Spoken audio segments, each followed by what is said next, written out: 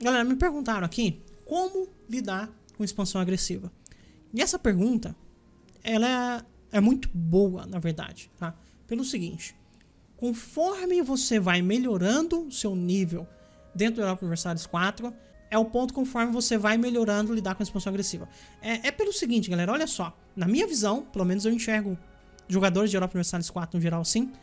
Uh, o, o, primeiro jogador é aquele que consegue jogar aquele primeiro nível, aquele nível inicial, o cara que começa a jogar e ele não sabe nada. Então, ele começa com qualquer nação e as coisas acontecem errado, ele explode o jogo, certo? Uh, aí você evolui um pouquinho, você começa a sustentar uma nação grande.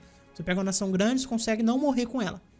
Aí você evolui mais um pouquinho quando você pega uma nação grande e começa já a conquistar territórios, a expandir e tudo mais. Aí você evolui mais ainda quando você começa a entender mecânicas a mais dentro do jogo. Entender uh, como a economia funciona, comércio, coisas desse tipo. Mecânicas mais básicas. Aí você melhora mais ainda quando você começa a entender bem o combate. Você fala, poxa, agora eu entendo o combate. Aí você sobe de patamar de novo. E assim vai, tá, galera? Até que chega num patamar onde você tem a sua única inimiga, vai se chamar expansão agressiva. Ela é a única. Ela é a que está no topo. Se esse é o seu único problema, parabéns, você está no topo.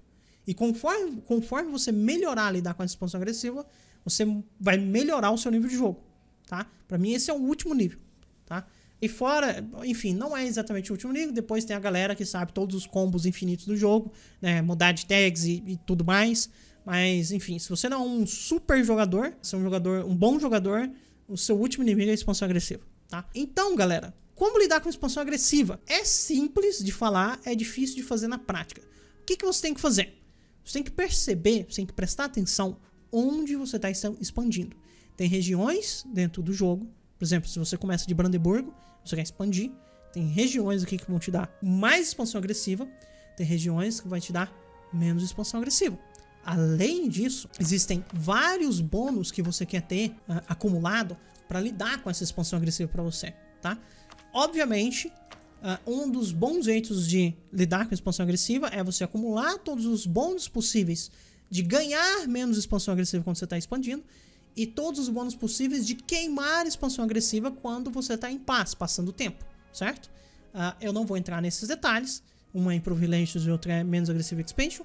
Não vou entrar nesses detalhes como se acumula esses bônus, você pode pesquisar lá na wiki. Agora, um outro jeito de lidar com a expansão agressiva e lidar com coalizões principalmente é você tem que sempre prestar atenção no seu mapa de coalizão, ver quem são seus inimigos, ver quem está muito contra você e quem está com 50 pontos de expansão agressiva em relação a você, tá? Se esse cara tá com 50 pontos de expansão agressiva em relação a você, quer dizer que ele pode começar a entrar em colisão. Então, esse cara, ele acende um alerta para você. De duas uma, ou você queima essa expansão agressiva com ele, para ele não ficar acima de 50%, ou você sempre tem que manter paz com esse cara, certo? Ou você sempre mantém paz com esse cara, ou você sempre mantém ele abaixo de menos 50. É, é, a regra, galera.